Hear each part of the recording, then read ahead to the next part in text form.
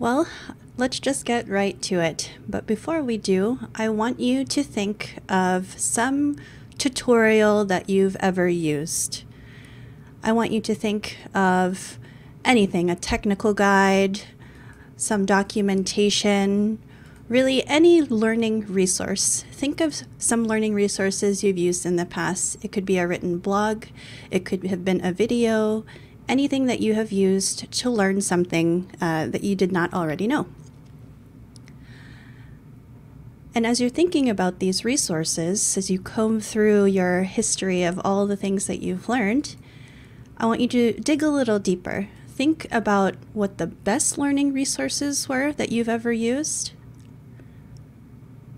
And then think about the worst learning resources that you've ever used. What are the differences there? What are the characteristics that you can point out about why one was really, really good and why one was really, really bad? What sparks your memory and what makes you recall specific pieces to be bad or good?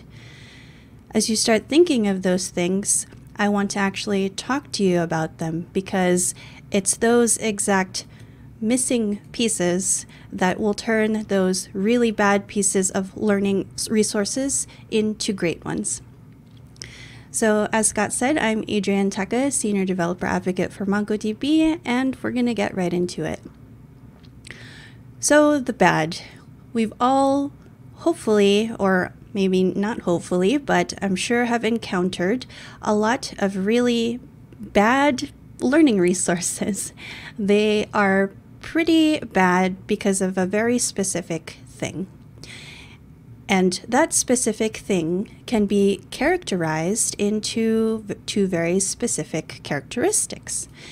And that's most bad learning resources are unclear and unhelpful. And unclear and unhelpful is at the root of all of these resources that we think of when I ask you to think of a really bad learning resource. But unclear and unhelpful are also just two words, right? They like you know what they mean. You know that unclear could mean confusing. You're probably like Jack Skellington, here saying, you know, what does it mean? I'm trying to learn it, but it doesn't make sense to me. And unhelpful is another pretty clear visual reminder of how we feel when we read or go through these bad learning resources.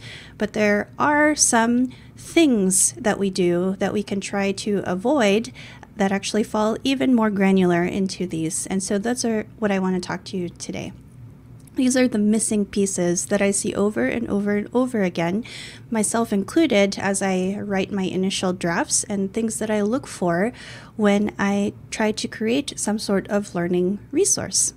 And so we'll start with SMH IDK. And if you're going, okay, what is SMH IDK? That's that's exactly the point. SMH IDK, um, you know, for those in the texting generation, you should probably know it's shaking my head, I don't know. And at least that's how I understand those very particular abbreviations. But we see this all the time in so many of our learning resources. If you look through documentation, if you look through demos, if you look through anything that is supposed to be teaching the reader something, we see these all the time. And so you get sentences like to create a TTL index on this field, use the following command. Or the CRI is an API for container runtimes to integrate with kubelet on a node. Or whether you're using the MERN, MEAN, or Maven, Maven stack, this tutorial will be useful to learn the fundamentals. And just like earlier, when, you know, if you may not have known what my title meant, SMH IDK, that's exactly the same feeling that your learners are going through if they're unfamiliar. They may not uh, know these things just because they haven't been in the industry long. They might have been switching from a different um, industry or have experience in some other places other than tech. They might be coming from another country where these uh, and background and culture where all of these initials and abbreviations mean something else. And so when you take a look at the acronyms that we've seen here and the abbreviations that we have, TTL, what could that mean? Does that mean transistor transistor logic? Because that's exactly what that means uh, in another industry. Does it mean the actual 1969 French film that's directed by Bernard Paul, which is also the same name of the actual thing here? It could be, depending on who you are and depending on what your background and experience is. But in this particular case and in this particular sentence, it does mean time to live and time to live indexes.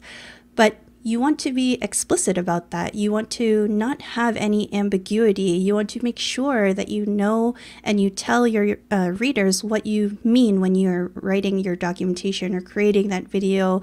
Uh, here it applies more to written word because you see it. Um, and so being more explicit is always better. It's the same thing. Let's take CRI and API, for example. CRI can mean, again, a whole multi multitude of things. Does that mean color reversal internegative? Because that's actually a thing, and that just means a motion picture film duplicate or a negative. Um, does it mean Croce Rossa Italiana, which that's also a thing? It's the Italian Red Cross. Or how about if you have a background in medicine or someone is switching from the medical field? CRI might, the first thing that comes to mind when they hear CRI is chronic renal insufficiency, which is a kind of a, a symptom of chronic kidney failure. It could be all those things, and it most likely doesn't mean that in the context of a tech tutorial or a tech learning resource, but again, it's always better to be explicit. In this case, in the sentence I showed you, it means container runtime interface. Uh, and specifically, it's the container run runtime interface uh, that's related to Kubernetes. Uh, and the same thing right here, API, application programming interface. Now you might be saying, well, Adrienne, you know, if you're any have been in tech any sort of time, if you've been in development at all, you'll know what an API is. You'll you would have seen it, you would have worked with it, and that may be true. That may be so prevalent in the industry and what we do that it's always kind of nice to just assume that everyone will know what that means. Uh, and even if that's the case, the very minimum that you can do is at least spell it out the first time, especially if it's a tutorial or a learning resource that's geared towards beginners. But even then, even if it is some intermediate one, take make sure you keep in mind the people who are switching industries and people who are career transitioners and even people who maybe in the tech industry but are completely going into a new technology they may not have used before for all of those people, spelling it out is always much better. And if you spell it out at least once the first time, then it's a much better and clearer way to refer to them uh, and a bit better to use the acronym later on throughout the rest of your learning resource. And finally, we all know these, right? Or again, that's the assumption. But MERN, MEAN, MEVN, uh, if you haven't been in the web development space or you just haven't heard any of these acronyms, again, it's just better to spell it out. Be explicit. Make no mistake about what you're talking about in your learning resource. Spell it out that these mean Mongo, Express, Node, with the third letter being the JavaScript front end framework that you are using, which is React, Angular, or Vue. So that's SMH ID, uh, IDK, or shaking my head, I don't know. Uh, and that's something that we really should try to, at a bare minimum, try to watch out for. The next thing that is really frustrating when it comes to tutorials, especially, or demos that you're trying to build yourself if you're following along, is something I call the step skipper. And so I don't know if you've ever seen this before. Uh, it's a parody video. It's called Every Programming Tutorial Ever. So it's this person and he's, he's like okay we're going to just you know import this and we're going to import this old ass library from 1994 oh and halfway through it says by the way we're using java 7 not 8 and then i'm just going to copy and paste this entire huge chunk of code uh, you know it just it makes your computer do stuff and then compile it and then bam we have minecraft. Uh, and that one really really gets to me. It's hilarious to me but it's also there's a lot of truth in it because a lot of the tutorials that we see and may have even encountered ourselves are like this. This is a very, you know, uh, a satirical version of it, but it's not hard to find tutorials that are like this. they go, you know, create this listing or create this thing, right, as an example, very generalized, and then add this code, and then ta da, you should be up and running now. And that's kind of the mode and the kind of the uh, expectation that they set when they create these kinds of learning resources. And that is extremely frustrating for somebody because have you ever gone through some uh, tutorial like this where you're following along, you're you know, going down step by step. And then as you get to a particular step, you find yourself looking at something completely different than what is being shown on the tutorial. It says this is where you should be at, or this is what it should look like, or this is the this is the state it should be in. Uh, by the time you reach this step, but as you look at your own monitor and you look at your own screen, it's not the same. That is extremely frustrating and very demotivating whenever anyone's trying to learn something new. So, that is something that we want to avoid, um, not only because it is frustrating, but because it's very unclear. You don't know if uh, the tutorial itself is missing steps or if you have forgotten something on your own. So, in this case, again, being explicit is always best. And it's also part of our responsibility to make sure we call those steps out. We make sure they're all there. So in reality, most tutorials actually benefit for from more steps or at least some good callouts on points that you might feel might be conf- uh, confusing to a, a, learner. If you anticipate those points and if you see there's a really good place here to put a good tip or reminder to make sure you're um, uh, holding the hand of the learner that you are teaching, it's always better to have that kind of flow and to make sure they feel like they know what they're doing and know where they're supposed to be rather than just um, assuming and skipping steps, whether intentionally or unintentionally. So in this case, maybe there was something that needed to be set. And for a lot of us, sometimes these are already, you know, default settings. We go through so many configurations, install so many things that a lot of our machines, they're always going to be different. So if this is something that is critical to the thing that you're trying to teach, make sure to point that out or at least call it out and say that this is something to check that might influence uh, what you see in the next step. Similarly, uh, if there are any good tips, uh, things that might seem too obvious, things like you know replacing the placeholders in the code snippets that you provide because you know you didn't add an actual production connection string in your code snippet. You put a placeholder because you intend for your learner to replace it with their own. Or uh, you know you do this so often that you know that you have to hit deploy you have to hit save you have to do something. And it's such a uh, as a, a, teacher and as someone who is used to it, you these are the kinds of steps that we try we tend to forget, and so it's always important to try to remember that. Uh, and a great way to ensure that you don't forget these steps is to go through it yourself, really go through it yourself. And make sure everything that you see is ex- as expected and matches what you are sharing and teaching in the learning resource that you are providing. So that's the step skipper.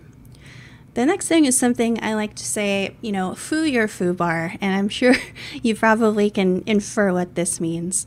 But another really annoying thing, at least to me, and at least to a lot of very new people or just anyone trying to learn, is the use of foo and bar and just having it interspersed everywhere. It's very common on Stack Overflow. It's even common when you're trying to explain, you know, a question you have, uh, and or trying to uh, write some uh, pseudocode uh, very quickly to prove a point to ask a question that you're trying to ask. But again, these are very, you know, for somebody new, and until now, whenever I see these kinds of names, I'm just I just glaze over because why not just be explicit? Why not just say what it is? Especially if you're trying to get some help on a question that you have and you're trying to set the context, what better context than to just be explicit with your variable names. Be explicit with what you're actually trying to say. Because then, instead of writing an additional paragraph about what you mean, It's right there in the code. Uh, and this applies not just to our code uh, in general, but also to our code snippets that we share in our tutorials or our learning materials. And it, it applies to anywhere we're trying to teach something. A very specific aspect of this, and something that I didn't know I was already kind of doing naturally because I'm a more verbose person, uh, something that a, a developer called Chris Dunn calls the German Naming Convention. Um, and as I'm sure that most of you who speak German know or are familiar with the German language, there are a lot of compound words that can be formed. And sometimes they can be super long and super explicit and sometimes really funny. But the point is, that's what we want in our code snippets. That's what we want in our code. We want them to be so explicit that there's no ambiguity and that no matter how many times you come back to this, you come back to this six months from now, a year from now, you share this with somebody, you will always know what you're talking about. And that's always better than any of this foo bar nonsense. The next thing that is very unclear in a lot of tutorials and learning resources I see is something I say, or um, something I call tell me what I need. Uh, and we kind of saw this in the parody earlier uh, of the video with every programming tutorial ever, where he goes in the middle, he's like, oh, by the way, yeah, we're using uh, Java 7 um, instead of this particular thing. And if you've ever gone through something like that, you'll know how frustrating that is to get halfway through or almost all the way through and you don't realize you need something that is critical to the tutorial. So there's no better place than in the very beginning of any of your learning resources to tell the learner what they need. What do they need? They need, to me, at least five things. Or if they re- if they apply to the learning resource that you're creating or writing about or uh, creating a video for, um, they need to have most of these at the beginning. Tell me what background knowledge will be helpful before starting this tutorial tell me the prerequisites. Tell me, is this going to go over my head because I don't have the basics of some particular technology or, or programming? Because if I go into it, uh, it's just going to be demotivating because it's going to be overwhelming and it's not the right type of learning resource for me at the level that I am at right now. Tell me, what dependencies do I need to download? Again, if it's, there's nothing more frustrating than getting through being you know a, some part of the way in and then you have to have a big blocker because you don't have the dependencies that your tutorial needs or you're taking a super long time finding and collecting and making sure you have it to even get started. So by making sure that it is already uh, explicit in the beginning and making sure people are aware of what they need, they can get to that faster and get through your learning resource much quicker. Tell me, can I complete this on a free tier? As we've unfortunately seen with that story of a student who incurred really, really high bills on this uh, from on AWS, it is certainly the responsibility of these cloud providers to make sure that that doesn't happen. But another part until that actually you know is resolved uh, another part as, as, being teachers it's our responsibility to make sure we let our learners know that if anything that we're doing might cost something that they need to know that. They need to know they can't go through the tutorial halfway through and then not be able to finish it because they need a higher tier than the one that you've been showing them it is our responsibility to let them know, hey, delete these resources at the very end of this tutorial if you don't need it. Otherwise, you might incur some costs. It's part of our responsibility to make sure that we let our learners know um, all of this information and make sure it's a part of every learning resource we create. Tell me if some steps need to be completed before I start. If you're if your learning resource is a part of a series or it requires something to be fully set up before moving on to the next step, again, it's just common courtesy and also a much nicer experience for the person who is following this learning resource to get through it and actually increase the chances of them finishing it because it's clear uh, what they need before they're able to accomplish and achieve the next step. and finally, tell me an estimate of how long this should take. A lot of us are probably learning things on our own time or free time, and it's always useful to be able to say, I need to set aside, you know, an hour or two to get through this learning resource. The more that you can more information you can give about the learning resource you're about to share, the better that uh, you're able to um, get through all of these things much safely. So another thing here is something I call random screenshot whodis. And so if you look at this first glance, you'll see, well, it looks like a pretty good screenshot, right? It seems helpful, right? But it's a very uh, tricky one and it could be a double-edged sword because for screenshots, if you sometimes you see screenshots that don't support what you're trying to explain or they're paired with the incorrect step and that's completely confusing. Sometimes it shows a different result than the one that you are describing in your written steps. Or uh, if they are images, the alt text does not provide any meaning field detail, or worse, it doesn't use it at all. And again, all of these are all obstacles. They're all hurdles that make it much harder for someone using your learning resource to use it effectively. So instead, we should only add these screenshots if they do provide some clarity. If the visual is better than writing an extra paragraph or it does give that clarity in your tutorial, uh, add it. And then again, it's a part of our responsibility is to have that due diligence to make sure that our screenshots are in the right place. And a, a, thing I like to do is to name screenshots to match the step number. That way I know where it goes as I'm formulating it. And again, follow your own steps and recapture the actual results if necessary. If you find that the screenshot you initially captured doesn't match, either again, go through the due diligence to make sure you get the right screenshot. Or if you're really in a bind, you can use Photoshop to kind of show it, but make sure it's not so obvious that it's Photoshop. And then finally, in alt text, at a minimum, describe the relevant points of the image that is required for the learner to be able to complete the step. So those are all of the things that make our documentation or learning resources unclear. The next few things are things that I think make them unhelpful. They just don't do anything for it. And so, uh, one thing that is super common is um, something I call, oh, you didn't know that. And a lot of tutorials do this, and that's this is kind of the baseline. When you create a learning resource, there's always this assumption that you make that your reader has either some knowledge or a little bit of knowledge or is aware or just has some kind of baseline knowledge about the topic that you're trying to present. When really, what you should be doing is assuming your reader has no knowledge at all. That's why we want to be explicit. That's why we want to make sure that any additional things that they need to know are told to them beforehand, and any other things are um, you know you go into detail about them before you continue on in your resource. Another thing that is very prevalent uh, in very unhelpful learning resources is something I call no more 404s.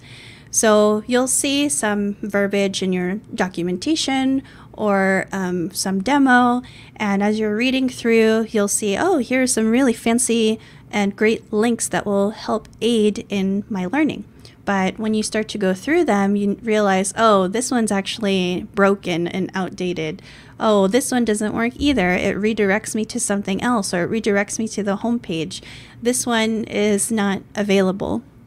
These are extremely detrimental to the learning experience, especially if these links require you, or these links are supposed to encourage the, the reader to um, continue on on the learning process, or if they are required to um, finish the tutorial. So please, please, please make sure that your links are all working and there are a lot of tools that you can use to make sure that uh, they're not um, broken links. Uh, another unhelpful thing that I see a lot is something I call jump to recipe. So, if you've ever seen any of these uh, recipe sites, bloggers who do this, you'll see, you know, you just want a recipe for banana bread, right? But they tell you like their life story, there's all these pictures, like, uh, teasing you of what you're actually about to create, but then you're just like, all right, I just, I need the recipe. I want to make this right now. and so that's, uh, you'll see as this person continued their blog, they added this really cool thing called Jump to Recipe. And so you can skip all of the fluff, skip all of the things that are not relevant to you, and just get straight to the cooking, get straight to the baking. Tell me what I need, tell me how to do it. And that's the same kind of mentality that we should have when we create, especially longer tutorials.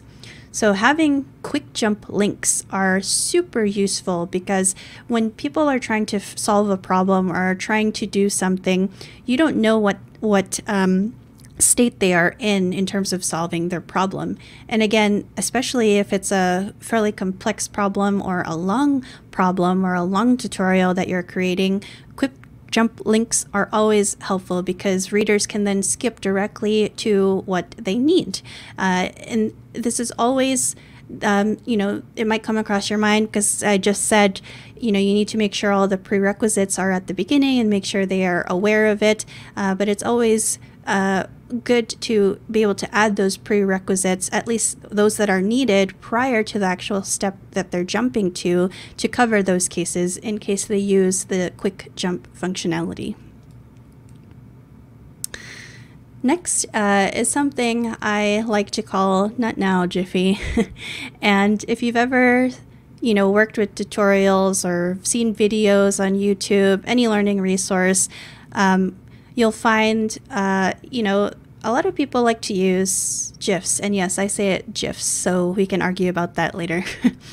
but um, I also really like to use them because it evokes feeling to me. It's a it's a helpful thing, right? If you're going through a tutorial and you're working with your learner and you're stepping them through, walking them through, you might give them a little encouragement with a, a woohoo uh, GIF at the end, or to convey, you know, you really feel and can relate to them when you're about to talk about a topic that was confusing to you. And so you might throw one of these in there or you add in some kind of joke because you're talking about how difficult CSS is.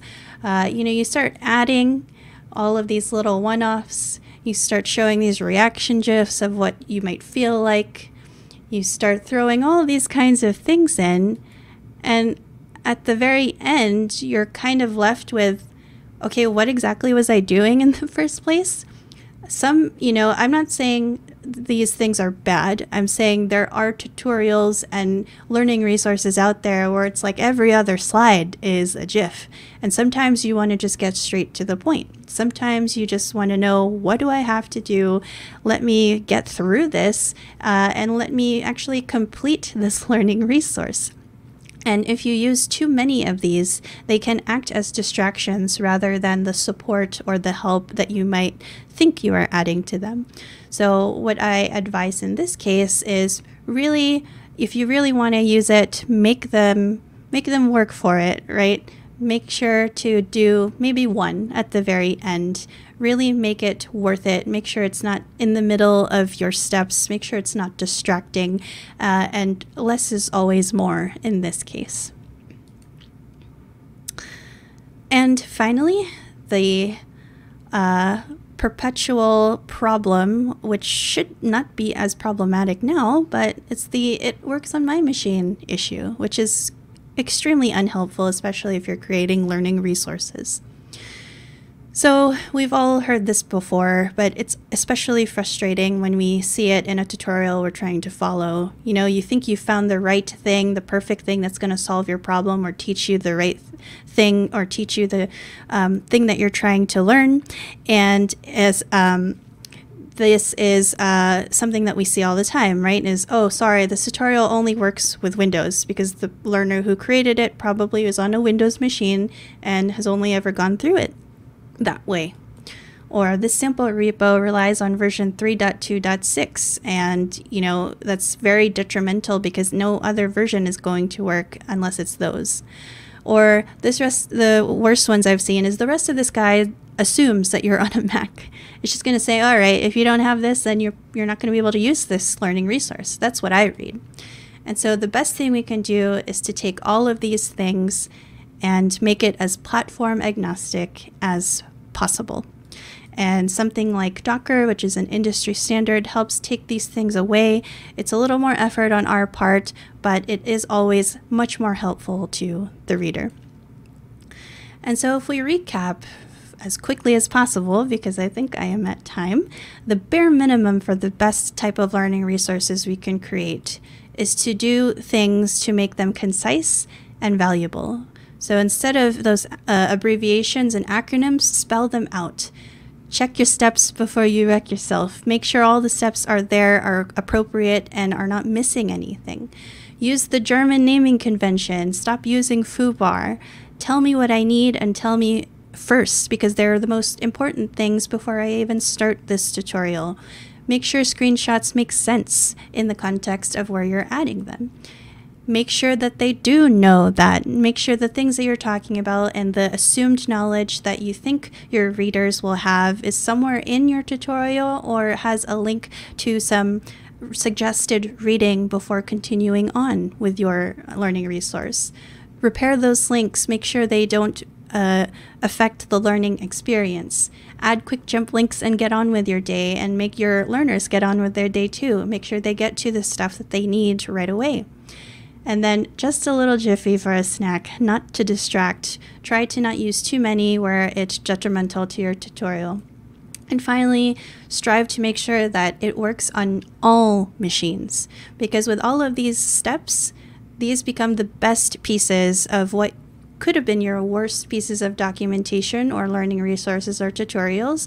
But when you keep in, these in mind and make sure to strive for these. Uh, they will certainly be a lot better for your readers and learners.